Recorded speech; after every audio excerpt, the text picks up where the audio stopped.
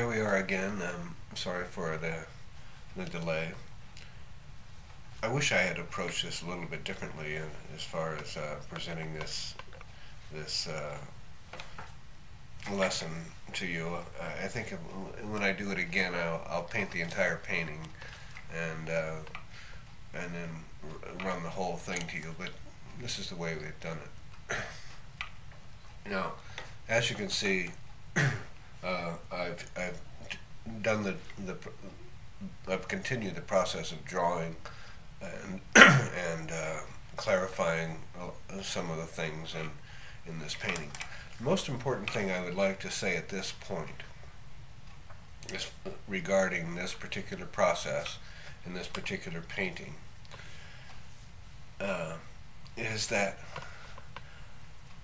this is really up to this point this is really the meat and potatoes so to speak of, of this process.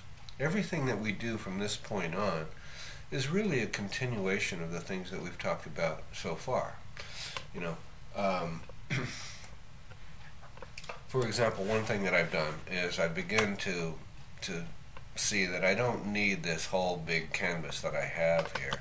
So i've cut it down a little bit to a more manageable size a more useful size i just put a couple of pieces of tape across here and uh, what this does is it, it begins to show the boundaries that I that I really want. What I'll do is when I'm finished with this painting, I'll just uh, cut this down and re-stretch it onto another uh, set of stretcher bars.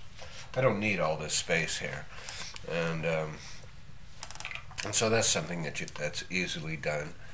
Um, in case sometimes you're you're concerned about paintings which you've done and they don't really necessarily fit the canvas that you have have there ready, you can um, you can cut it down. So that's what I'm going to do. But in the in the process, I just put these pieces of tape on there to give me some guidelines. Now, uh, I really think that that so far we have a nice little self-portrait here.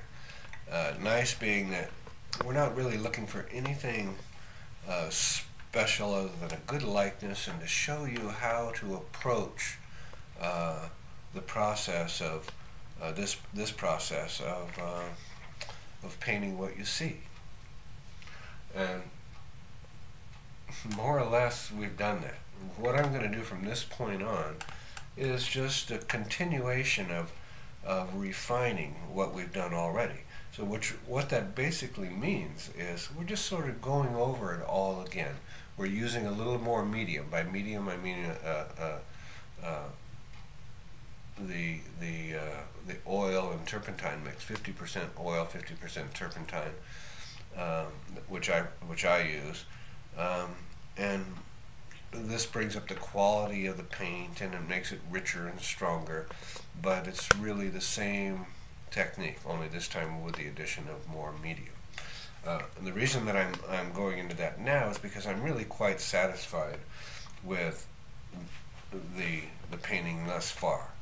And what, what we know is so far this is uh, this has been basically a turpentine uh, and no real medium involved. But uh, as we need some medium now, we'll, we'll, we'll apply it. Now, what I want to what I want to do from this point now is I want to sort of make a little painting, uh, finish finish this painting. Now, I'm, I've decided I'm not going to do all this shirt and the business down in the bottom here. It doesn't it isn't necessary for what we're doing right now, but I will do a little background. I will clarify this headpiece, and the reason I've left this for so long is that. Uh, it's it's going to be kind of complicated, and it's going to take a lot of fiddly little painting. and uh, and then I'll go back and I'll, I'll sort of start from up here. I'll get a nice muted color, a color which is which I feel in my mind is going to accent this headpiece. Now the light is shining right down on top of my head, and so this is going to be very bright. So what I'll do is I'll put a darkish color, and by when I say darkish, and I'm not very, very um, um, particular uh, in the color choice that I make, it's going to be a mixture of some browns and some grays and just something some dark value. It, it doesn't have to be red or it doesn't have to be blue. It just has to be some sort of darkish shade. And I'll show you how I go about doing that. Anyway, and I'll I'll put that on, and that'll give me what that'll give me a, a point of reference, a color reference. At this point, you want to accent and exaggerate a lot, a lot of things to make a more interesting picture. So I'll I'll choose a darker color here because I want I want to really exaggerate the light on top of the headpiece here, um, and I'll show you how to do that in a minute. So. Uh, uh, I'll go over to the palette here and I'll show you the, the background, the colors that I'm going to use for a background. So now I'm going to, you know, I've, I've sat around a little bit this morning and I'm thinking about, okay, what am I going to do on this painting now? Uh, we've talked about the idea I'm going to I'm going to put some background on. I'm going to work on this headpiece, and so I put out on my palette here a bunch of different colors, which I know I'm going to employ um, at some some time uh, today. So I've put our regular palette on, which is the white and the flesh tone and the and the raw sienna and these sorts of things.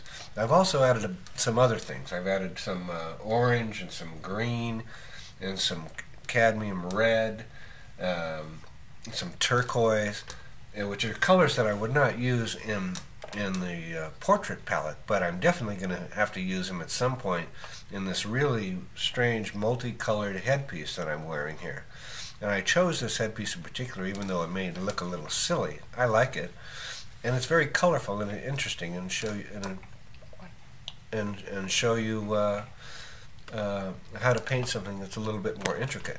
This is a headpiece that we got down in Guatemala. I bought a whole bunch of them uh, because I keep the hair out of my eyes when I'm playing golf. Uh, anyway, so I've, I've, put all these additional colors out there. I'm not going to use them right now. First thing we're going to do is I'm going to I'm going to mix up a little uh, color uh, to go in this darkish background. I'm going to do that first because I, next I want to go into this headpiece, which is very light up here. So I want to I want to find a nice color range there. So I'm going to take uh, a little bit of white.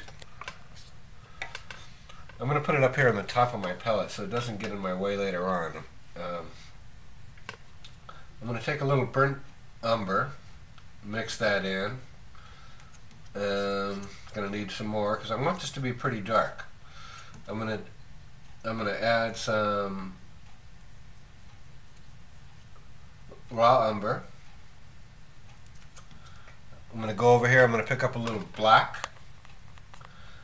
I'm just trying, what I'm looking for is sort of a browny, gray, dark value, which I can use at the top, which is going to be dark, and I'm going to lighten it up a little bit down on the bottom here.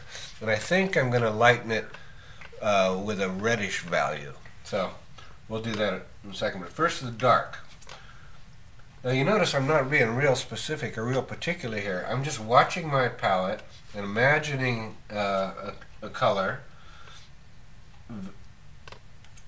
So again, I'm adding some more black. I'm making it darker and darker. I'm going to even throw in a, a little bit of red right here. This is a, a cadmium red deep. But you can really use any sort of reddish value. Uh, here I'm, I'm checking it. I'm checking it uh, to see if it's dark enough. Um, I think I'm going to go even a little bit darker. And to darken it up, I'm going to use a little ultramarine blue. And I'm going to go back and I'm going to pick up some more of this red. And the blue and the red make a nice kind of a browny, purpley kind of a color that I like. It's warm. So, let's try that.